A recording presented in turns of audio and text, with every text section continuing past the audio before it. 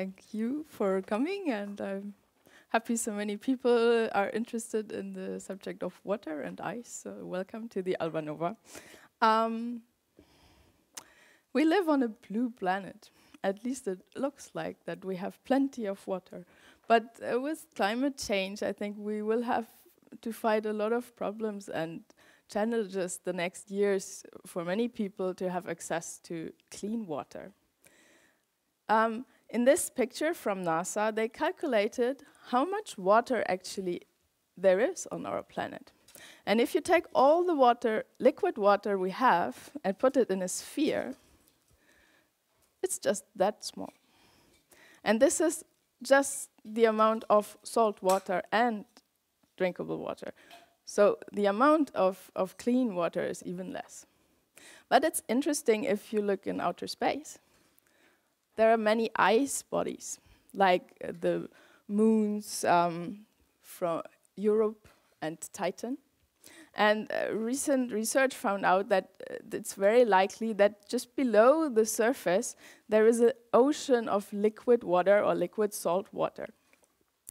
And the amount of this water on these ice moons in these underground oceans is this big if you put it in a sphere. And the amount of water in Titan is even larger. So if you compare it to the little water we have on Earth, it's quite impressive that it's much more. But if you look at our Earth and, and the water, how does water behave? So in our research here at Stockholm University, we are interested on the molecular level, how does water behave, what's the structure, and how can we understand water? One very strange and interesting property of water is if you cool down water, it shows a maximum density of plus 4 degrees Celsius. This is very unusual. If you compare it to normal liquids, shown here in this red line, which, for instance, ethanol or uh, something else, if you cool this down, uh, then it will just increase in density, while water has a maximum density here. This gives rise to the fact that we have plus four degrees in winter at the bottom of a lake, so the fishes can survive and we can go ice skating on top of the lake. While in summer, it's the other way around. We have warm water on top, but still we have the cold water at the bottom. Another interesting property and, and opposite to other substances is the fact that the solid phase of water, ice, is less dense than water. If you take another substance, then always the solid phase would be heavier and sink down to the bottom. You might have seen this in school already, but just to summarize, this is the phase diagram of water. And it's one of the few substances that on Earth exists in all three aggregate phases. We have liquid water, we have gas phase water, and we have solid phase ice, and all three you see in this picture. However, a normal phase diagram would look like this. If you have another substance than water, you have a positive slope here on the phase boundary between the solid and the liquid states. Water is different in many cases, and also here, because if you have water, this boundary between ice and water has a negative slope. And so this is one of the many anomalies and, and properties. And then also, because I will come back to this later, I want to remind you that between liquid water and water vapor, we have the so-called critical point. And above this critical point, you have a superfluid water, and you cannot discriminate anymore between the liquid and the gaseous phase. So we will come back to this critical point later. In my talk, I will first talk about a little bit about liquid water and the properties, and then focus more on the solid phase ice. Um, there are, as I said, many different anomalies of water, where water behaves different than a simple liquid. For instance, you have the compressibility. If you cool down water, already below minus 46 Kelvin, uh, Celsius, sorry, it starts to increase. So there is not the usual linear behavior that you would expect for a typical liquid, but it starts to diverge as soon as you supercool water. The same is for the heat capacity and also for the thermal expansion. And there are many different theories that try to explain this. One of them connects two different types of liquids. So water at high temperatures, as you, if I go back, at high temperatures, water behaves like a normal liquid. It has a linear behavior in all these thermal properties. But if you have these, this divergence once you cool liquid water, this can be explained by having eventually two different types of liquid structures. One is called high density liquid, it's this one, and one is called low density liquid. And in between, you have critical fluctuations between the two, which could possibly explain these anomalies. Of course, there is not only one theory. there are many, and they are competing with each other. And so far, there is really no computational model that can uh, describe all the observations we do experimentally. So really, the computational models fail to explain water in, it, in its full properties. Um, so the take-home message here is mainly that there are some models that deal with the fact that we have two different types of liquids, and one of these connects a so-called second critical point. So remember before we saw the first critical point at the water vapor liquid uh, interface, and here we have a second critical point between two different types of liquid. And the question we deal with does water exist in two different liquid states? I brought some bottles here, you can see, but we'll discuss uh, in the talk if this is possible to, to put it in a bottle.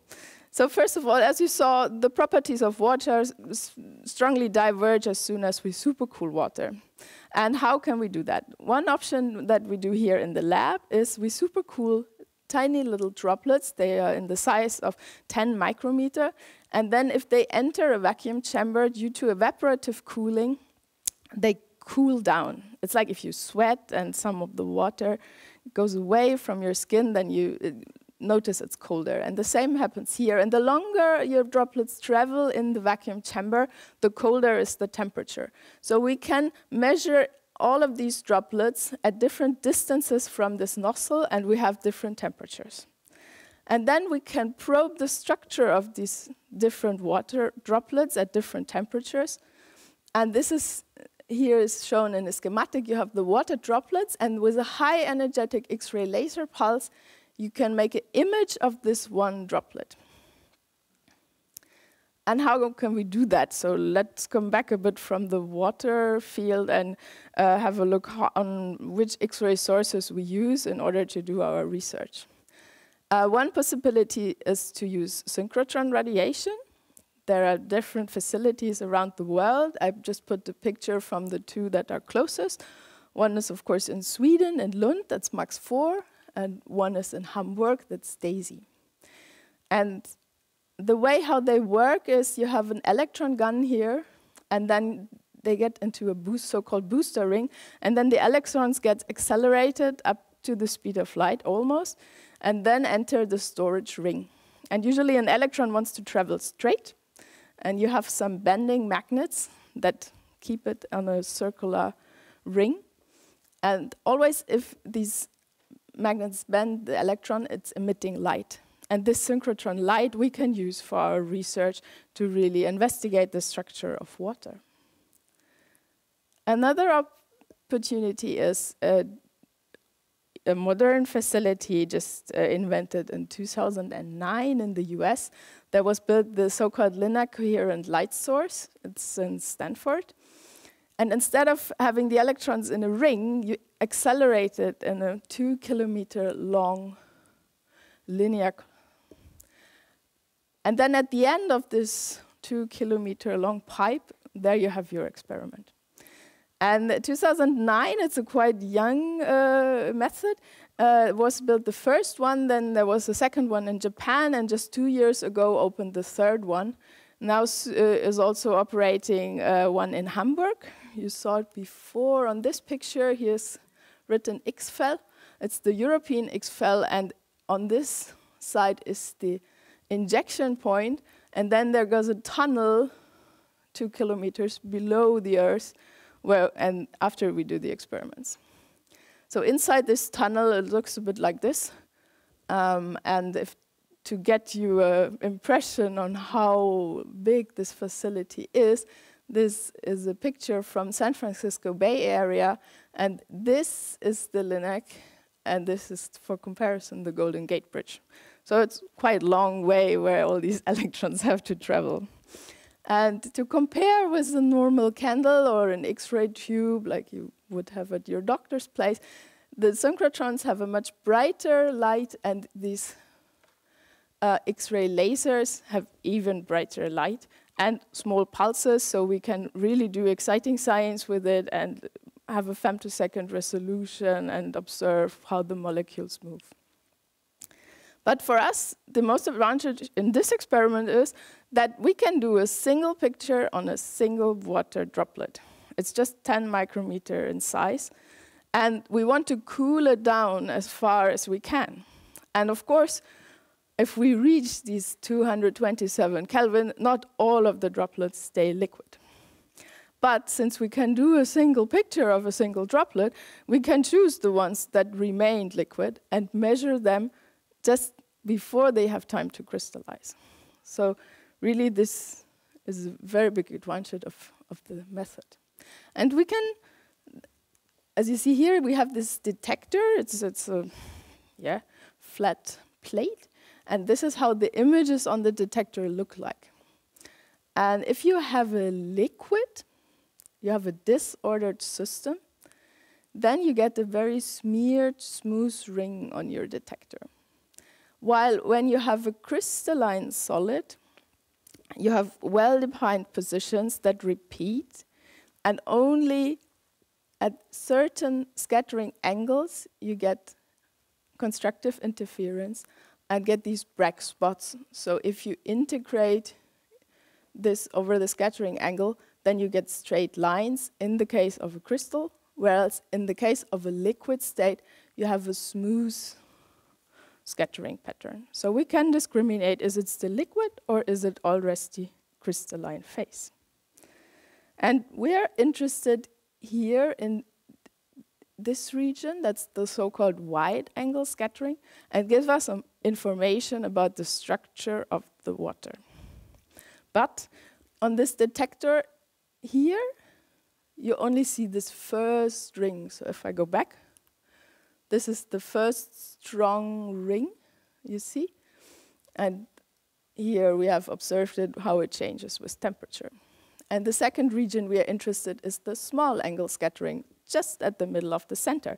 This will give us an information about do we have heterogeneities inside our water? So if we have these two liquid structures and they become more prominent and we have critical fluctuations between them, then we should be able to see a small angle scattering signal.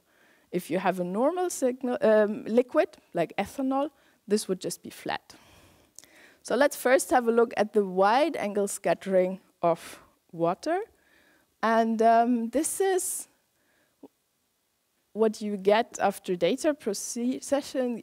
You, you get a so-called pair correlation function. It gives you the probability to find the next water molecule at a certain distance. So here, this first peak shows us where is the next water molecule. So if you have a hydrogen bond to the next water molecule, from the center molecule to the next, then this distance is shown here in this first peak. And the distance of the next neighbors, here around 4.5 angstrom, is given in the second peak. And here you have different temperatures between 254 and 366 Kelvin. And you see there is quite a dramatic change if you, if you cool down water. It's not even super cooled, it's just 254 Kelvin. And you have a dramatic change in the structure. So that's the first uh, take-home message on this slide is water structure changes if you cool it down. And the same is shown here on another experiment. And the idea is that it goes from high density like water at warm temperatures to low density like water at cool temperatures. So what about this small angle scattering signal? I told you that there we could get informations about possible fluctuations. And this is a nice example, I think, how scientists have to be patient. In this case, our professor Anders Nilsson, because he tried this already 2009. And of course, during the years, the X-ray sources get better, your equipment get better, you are able to cool down the water further. And you see here, it's just a little bit of change of the different temperatures. But now in the second experiments, they already managed to go down to 252, and you see an increase in the small angle scattering signal. And now recently, we managed to go down to 230 Kelvin, and then you see a dramatic uh, change in the small angle scattering signal. And uh, we have been able to, go down to 270, uh, 227 Kelvin roughly, and then happened that we didn't expect that really, that the small angle signal starts to go down again. And this maximum shows us that this theory of these two different liquids and the second critical point might be true. It's consistent with the theory. It's not a proof yet, but it's going into the right direction. And we could also extract the compressibility from these data, and they also show a maximum. Um, it's molten already. Wow. we, we wanted to bring you some uh, D2O ice cubes. And now, now they disappeared because they are molten. But you can still see uh, that the heavy water, here we did some experiments with this D2O heavy water, is uh, not floating like the normal water, but it's uh, heavier. That's why it's, it's not on the surface. You can also give it a round if you want before it disappears completely. so let's switch gears and come to the solid state. Um, I will go through what is the normal ice we have here on Earth, and are there different forms of ice? And in particular, I want to talk a bit about amorphous ice because this is where I did my research the last 10 years investigating these amorphous ices. But let's first have a look at the normal ice. Winter is almost over, but you might have observed that there are very different snowflakes appearing sometimes. They can look really beautiful and have a lot of different shapes. And Kenneth Libbrecht did some pictures of these snowflakes. And it's really nice to see his collection of the different snowflakes. And it strongly depends on humidity and temperature, also the way the snowflakes takes in the clouds. But you see that you need a high humidity and roughly minus 15 degrees Celsius to get these big, nice snowflakes. So if you see them next time, maybe think about, okay, how could they have been made? Or what was the temperature and the humidity when they have formed? Something all of these snowflakes have in common is the crystalline structure. The crystalline structure of all the snowflakes and all the ice, also if you make an ice cube in your fridge, has always a hexagonal lattice. And something they also have in common, but not necessarily only the hexagonal ice, is that you have one central water molecule, then you have the hydrogen sitting, and they will form two more hydrogen bonds. So you have like a water tetrahedra. And this water tetrahedral you find in, in all of the structures I will talk about later. But on Earth, as I said, we only have this hexagonal ice, and all the different snowflakes are built up like this. And Bernal Fowler formulated the so-called ice rules, and which say, well, a water molecule consists of oxygen and two hydrogens, so two hydrogens have to be adjacent to each oxygen. And only one hydrogen atom can be per bond. So on the hydrogen bond, there is only one hydrogen. But nothing is perfect, so also in every ice form, you will find defects. If you have uh, hydrogen less, you have, or more, you have ionic defects. And if you have two hydrogens on the bond or none, it's called Bjerrum defects. And due to these defects in the ice, you will have uh, motion and tetrahedral reorientations of the protons and also long-range transport. Even in ice at low temperature, you have proton transport due to these defects that is always present in the ice. Let's have a look again at the phase diagram I showed you before. At this corner, we only have 22 megapascal. The phase diagram I show you here goes from 0 megapascal to 400. So the phase diagram you see here is only reflected in the small area at the bottom. If you have a high pressure, then suddenly ice can form different crystalline structures. Here we have ice 2, 3, 5, and they all have a different crystalline structure and a different density. For instance, ice 2 looks like this, and these high pressure ice phases then also would sink in the water glass you see.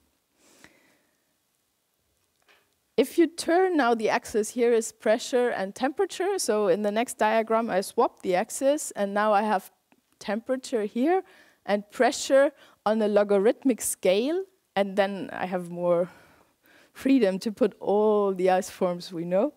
In total, there are up to now 18 crystalline forms known, including an empty hydrate, and uh, also three amorphous states.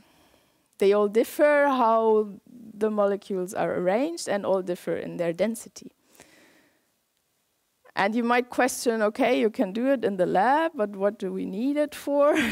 well, there is some of these forms we have possibly in outer space, and in particular, the amorphous ice, where I will talk about later, um, is most abundant on interstellar dust grains or so. It's not crystalline, it looks really amorphous. We will talk about that later.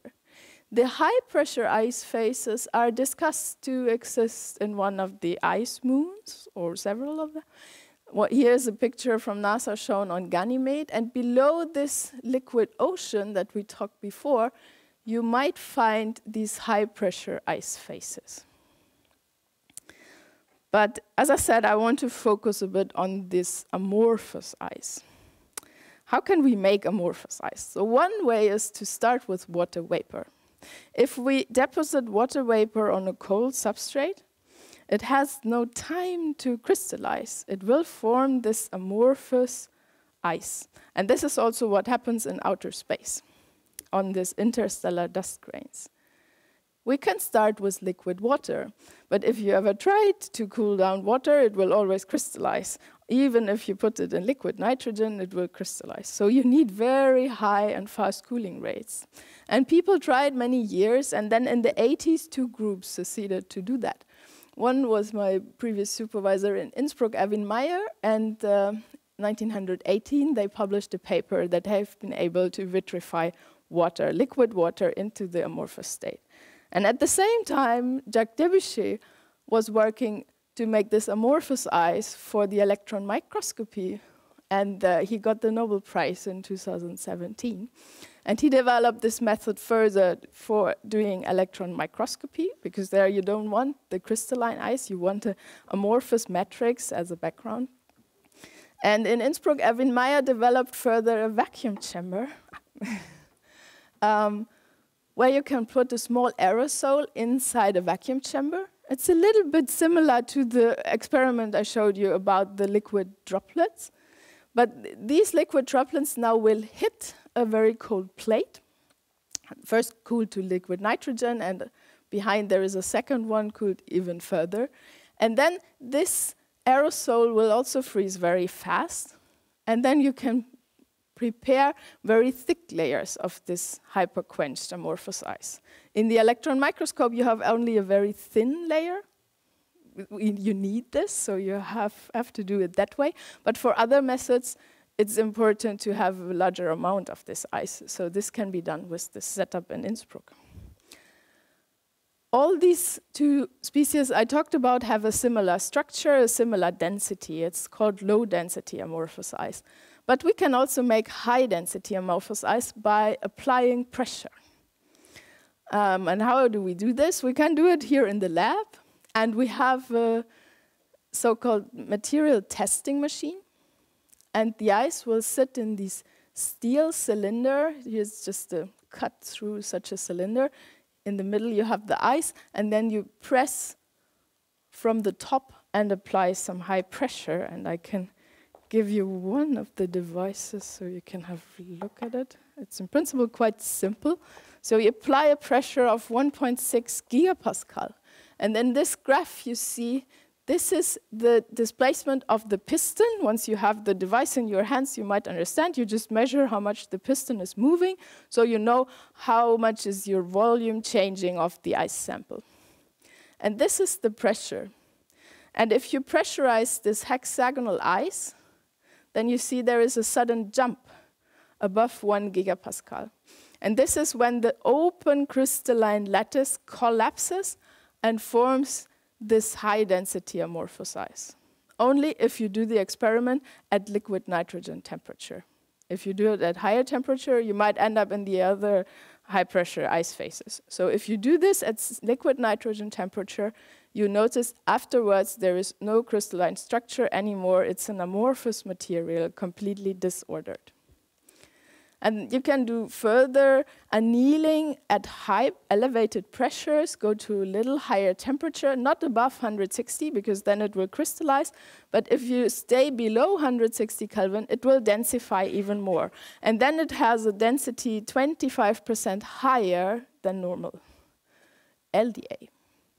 And you can do some more treatment. I don't need to go into detail, I think, today, but there are different substates of this family of high-density amorphous ices. For you, as a take-home message, we have two different types of amorphous ice. One of low-density amorphous ice. The density is similar to the hexagonal ice, and one of high-density amorphous ice then we have 1.13 gram per cubic square, which is 20% higher in density than the low density amorphous ice. And here you see that in the low density amorphous ice, you have four next neighbors in the structure, while at high density, there is a fifth interstitial molecule coming in, but not forming any hydrogen bonds. The question, of course, well, we talked before about do we have two different liquid water? And now we have two different amorphous states. Actually, the whole idea in, in theory, to develop this theory about two liquids appeared when Mishima in the 80s found this high density amorphous ice. But many people say, well, maybe it's not amorphous. Maybe it's just some microcrystallines. You put a lot of pressure on this ice and it will crash and then just be so small that you cannot resolve it. So that's one question we deal with to really think about which experimental tools do we have to prove does, is this related to a liquid state or is it a crystalline state? And then this is summarized in this theory I, I, talked about before, which was invented from Peter Poole, Sciortino, Gene Stanley, and also Mishima, who did all the experiments in the 80s with the high density amorphous ice. So you have the low and the high density amorphous ice. They can be converted into each other, and the phase boundary will continue until it ends in this second critical point that I mentioned before. And what is white here on the map is so-called no man's land, which is simply, it's hard to do experiments there because your sample will crystallize. And uh, so we try to find ways to, to shift this boundary so it will not crystallize or we can measure faster than it will crystallize. And now we might have an experiment. do we? so,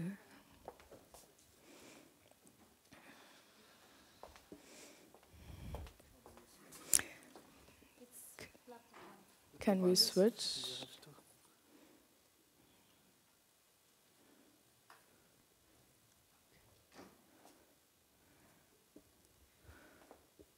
So we brought some ice that we made in the lab, and it's the high density amorphous ice. And as I told you before, it has a 20 or 25% higher density than crystalline or low density amorphous ice. So maybe you can guess what will happen if we now just let it warm up at ambient conditions. Any ideas? Will it just melt or expand? Yes, I heard it. So this is just styrofoam to uh, get the better focus on the camera.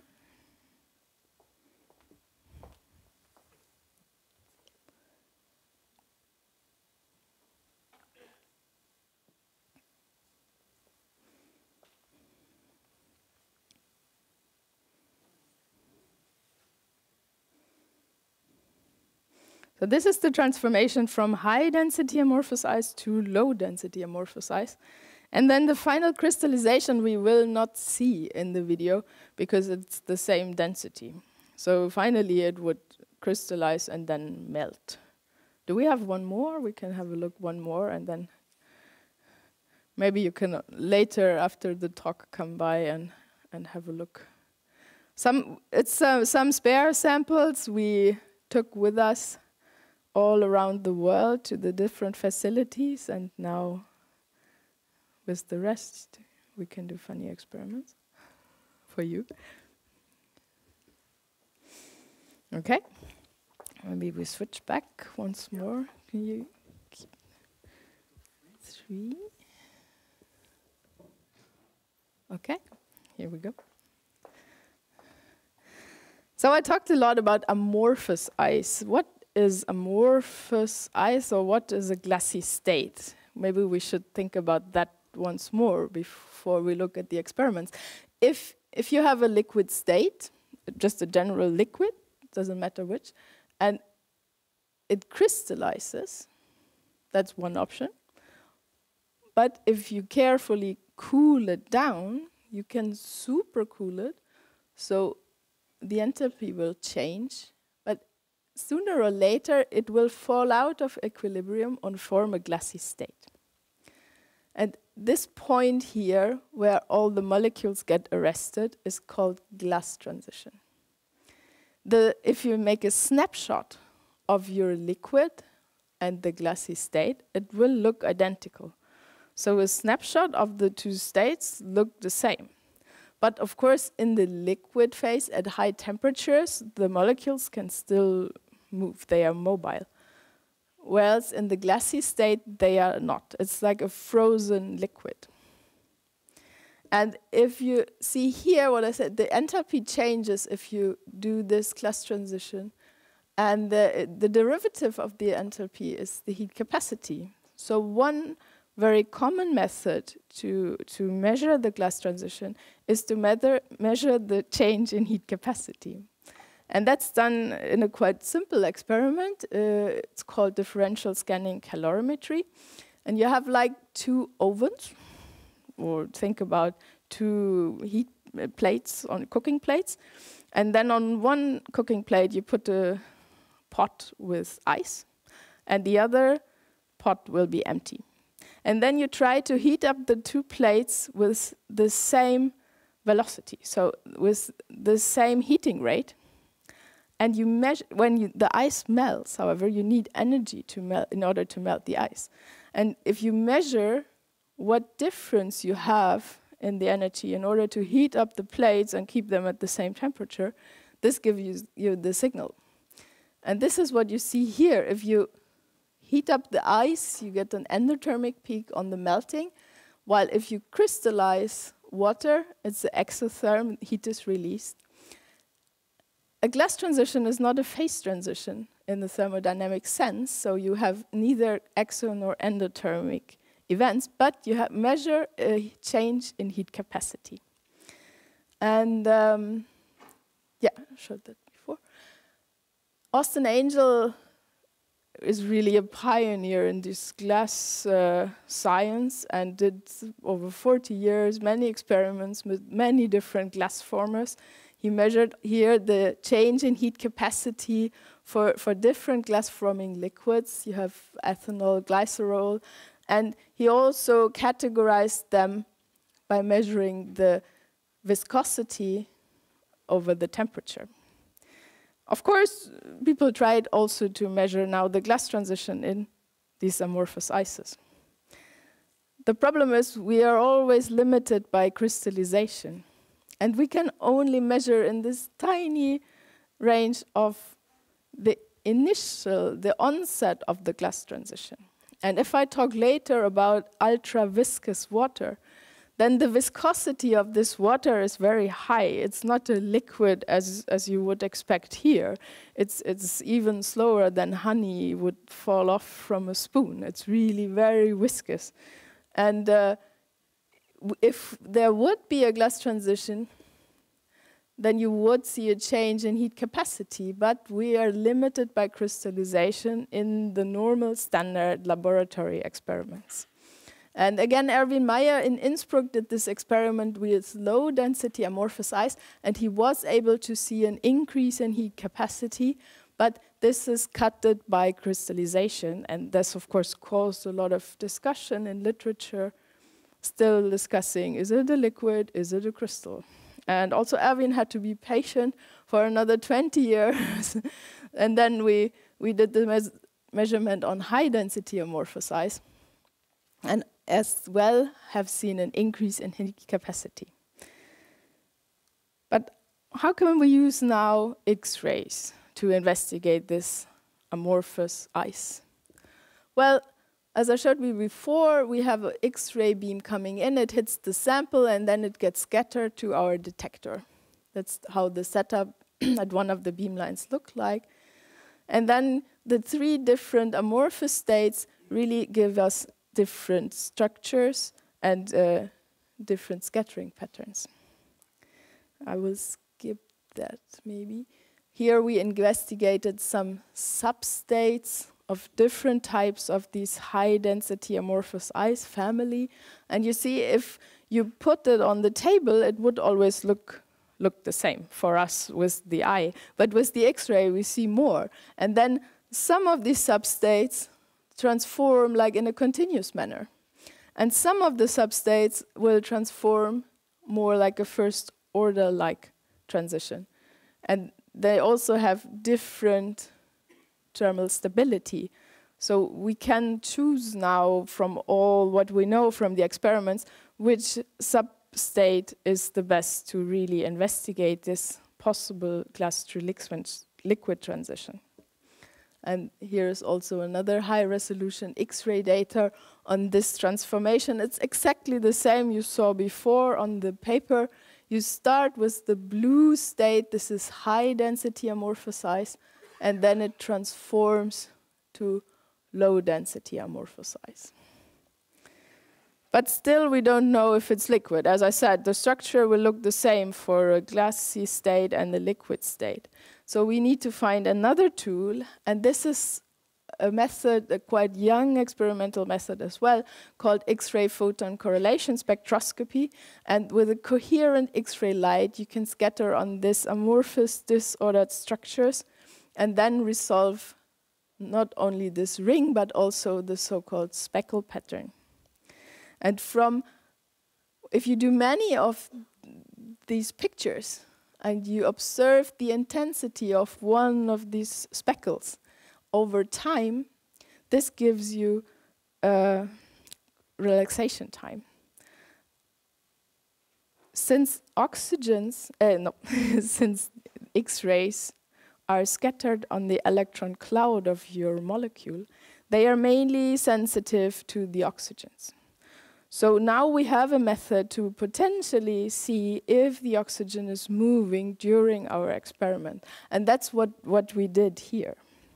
And just to show you the results, these are the correlation times with temperature. So if you heat the amorphous ice, then you see there are two different time scales appearing. The split of these processes is exactly where we saw before with the calorimetry, uh, the onset of the glass transition. So the increase in heat capacity is exactly around 110 Kelvin. And then everything gets faster once you warm up your sample. And we could also derive diffusion coefficients that clearly indicate that this might be a liquid state and not a solid crystalline state. And from this, we uh, have a good indication that indeed the high density amorphous ice first because the diffusion is so fast, first transforms into a high density liquid state, and then the diffusion is still fast, so it transforms into the low density liquid state. It's consistent with the theory I've shown you before, but still not a proof. So we have ongoing research to, to investigate this further with other methods, also including the free electron lasers, potentially being able to heat faster and, and to measure faster before it crystallizes. So as a summary, I would say, keep in mind there is not only hexagonal ice as we have here on Earth, there is also 20 different uh, states of ice, both crystalline and amorphous, that we can make in the lab, but eventually also find in outer space. And uh, we have good evidence that the two amorphous states, low density and high density amorphous ice, convert to each other and at high enough temperatures undergo a liquid-liquid transition. Also remember that water can be supercooled down to 227 Kelvin. That's the world record so far. And uh, it's consistent with some of the theoretical models, but we have to do further investigations. Let me thank our, our group, my colleagues Marjorie and Alex, who helped me today with the experiments, particularly also Anders, who, the group leader at Stockholm University. Lars uh, is, is, head of the theoretical group. They do all the simulations and wait for the results from the experiment, if it's this or the other. And here are all my collaborators. Yeah, I, I work on this amorphous since 10, 15 years already now, and um, a lot of people have been involved in this. And let me thank uh, the Ragnar Söderberg Stiftelse because uh, they just gave me uh, big grant so I can build up my own research group and hopefully find some answers to the questions I told you today. Thanks for your attention.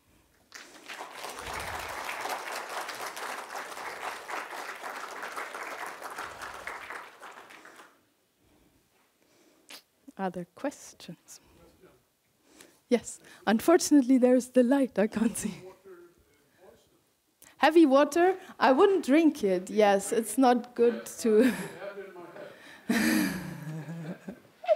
no, you shouldn't drink it.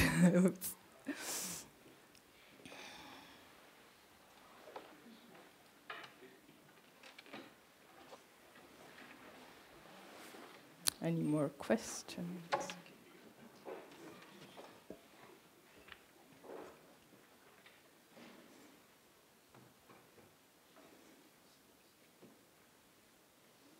As I said, after the talk, you can also come to my colleague Marjorie. She has some more samples to look at the transition. Are there any practical applications for this amorphous ice? No, we. I mean, we re we are just interested on the basic research to understand water. Um, what you can think of where it's really important. I mean, you have water involved in any biological systems, and if you have a confined um, membrane, for instance, then it looks like this water is more like the high density liquid water. And if you want to model any system where water is involved, it's important to know what you put in your model. So we really want to understand water on a molecular level to get informations for any other systems where water is involved. One more question. Is there Any other liquid with uh, such uh, mysterious properties? No. No. That's the interesting thing. There are a few which mm, show this um, two states, but they all behave. Water is really anomalous in, in all these uh, properties, yes. Just a moment, please talk into the mic because then we get it also on the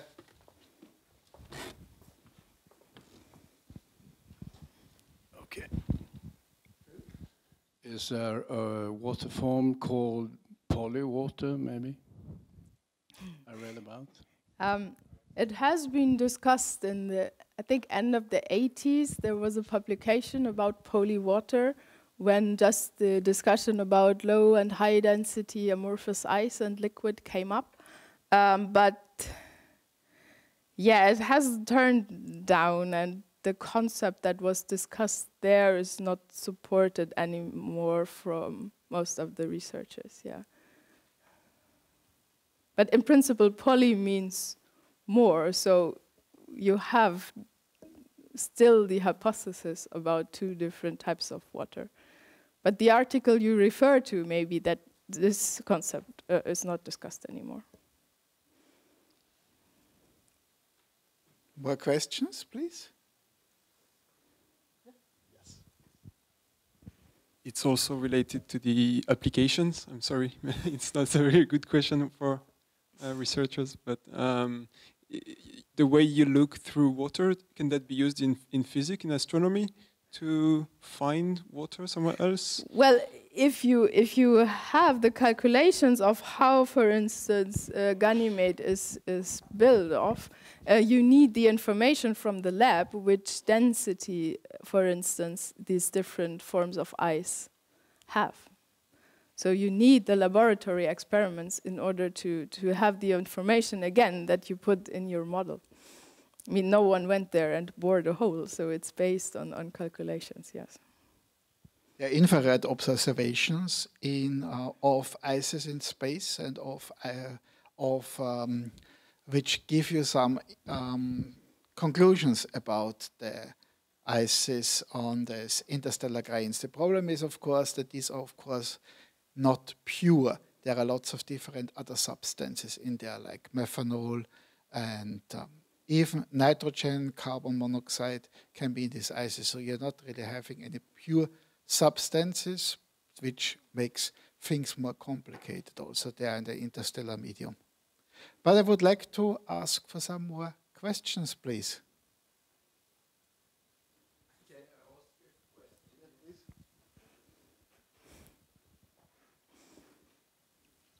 Is there any kind of ice which cannot exist on Earth but can exist on gas giants in our solar system? Well, none of the phases I, I have shown with numbers higher than one uh, exist naturally here on Earth. You can only make it um, in the lab, and you need high pressure. And then, of course, uh, if the pressure is high enough, also the temperature can go higher. Yeah, but I'm not sure about the the planets itself. Yeah. Because the, because uh, many mo- two moons we assume have got um, subglacial oceans. So The moons, is yes, Titan, Titan, and uh, Ganymede. And it could be. I mean, if the pressure is uh, is is enough there, that there are other phases formed. But we have not really got a clue how really thick these ices are. They can be anything from 10 kilometers up to 100 kilometers thick. We are not really very sure how thick these ices are on these sub on these satellites. Any more questions, please?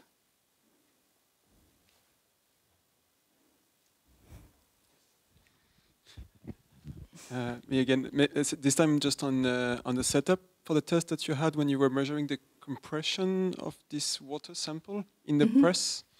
I I'm curious how you managed to get such a precise measurement.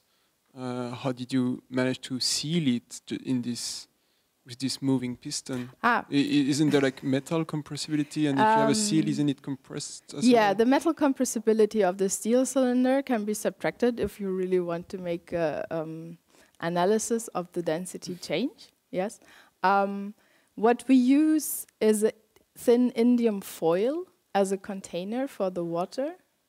Um, it's more important to reduce friction, not so much in order to lose the water, because we immediately freeze the water. So everything is pre-cooled, and when you pipette the water into this container, it freezes directly. So it cannot flow out. That's not the problem. But the issue is that if you have pure ice on a steel wall, then you have high friction effects.